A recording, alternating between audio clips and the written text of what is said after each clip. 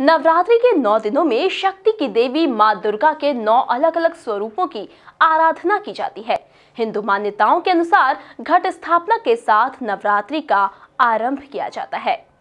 तो आखिर कब है घट स्थापना के शुभ मुहूर्त? जानिए इस रिपोर्ट में। शारदीय नवरात्र में घट स्थापना अमृत और सर्वार्थ सिद्धि योग में होगी।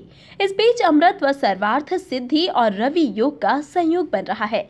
ज्योतिषी पंडित रामचंद्र शर्मा वैदिक के मुताबिक प्रथम नवरात्र पर घट स्थापना ब्रह्म मुहूर्त में और उसके बाद सुबह साढ़े छह से सात बजे तक होगी। इसके बाद नौ से बारह के बीच घट स्थापना की जा सकती है।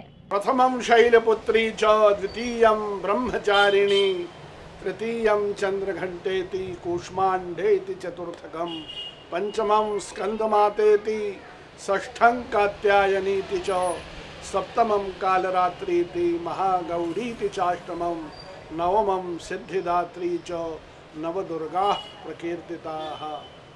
आज से शारदीय नवरात्र का प्रारंभ हो रहा है।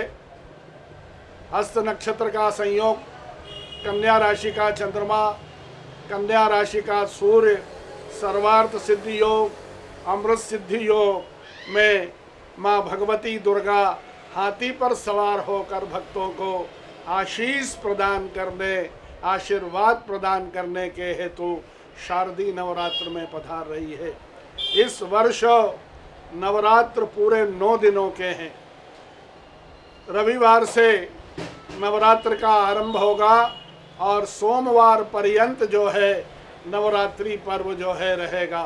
आज शुभ मुहूर्त में यानी ब्रह्म मुहूर्त में आप घट स्थापना कर सकते हैं, या प्रातः छः से साढ़े सात में घट स्थापना कर सकते हैं, या नौ से बारह। ये जो समय है, लाभ और अमृत की वेला का समय है। इस समय घट स्थापना करने से माँ का आशीष प्राप्त होता है, माँ की कृपा प्राप्त होती है। नवरात्र में घट स्थापना, अखंड दीप साधना का विशेष महत्व है। वैसे धर्मशास्त्रों में 40 नवरात्रियों की व्यवस्था की गई है। उसमें से चार नवरात्र प्रमुख हैं। चैत्र नवरात्र और आश्विन के जो नवरात्र हैं, यह प्रमुख है वहीं आषाढ़ और माघ माह के जो दो नवरात्र हैं, ये गुप्त नवरात्र है। शारदीय नवरात्र अर्थात शरद ऋतु में जो नवरात्रि प्रारंभ होती है, वह शारदीय नवरात्र के नाम से जानी जाती है। इस वर्ष शारदीय नवरात्र का आरंभ आज जो है 29 सितंबर सोमवार से प्रारंभ हो रहा है, रविवार से प्रारंभ हो रहा है। 6 अक्टूबर को महाअष्टमी का पर्व है। उस दिन दुर्गा सप्तशती के 700 महामंत्रों से माँ का हवन होगा, महाकाली, महालक्ष्मी और महासरस्वती का स्तवन होगा। वहीं सात अक्टूबर महानवमी को जो है इस पर्व का समापन होगा महानवमी के साथ। महानवमी को विशेष श्रृंगार, पूजा और अर्चन करने का विधान है। वहीं महानवमी के दिन जो है, कुल देवी और कुल देवता का पूजन अपनी अपनी कुल परंपरा के अनुसार किया जाता है।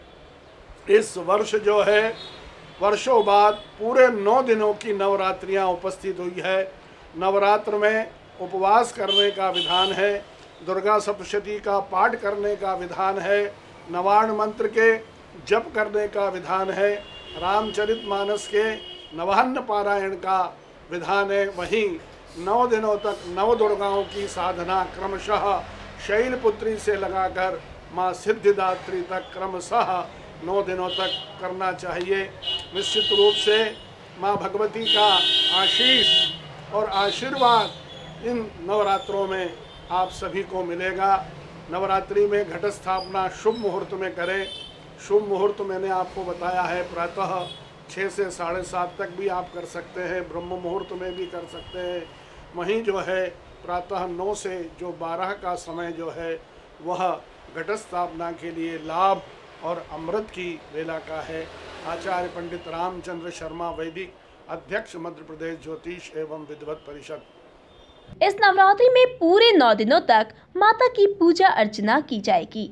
एक भी दिन का क्षय नहीं है। देवी का आगमन हाथी पर होगा और वापसी घोड़े पर। हाथी पर देवी के आगमन को समृद्धि प्रदान करने वाला बताया जा रहा है। Bureau report AP news, Indore.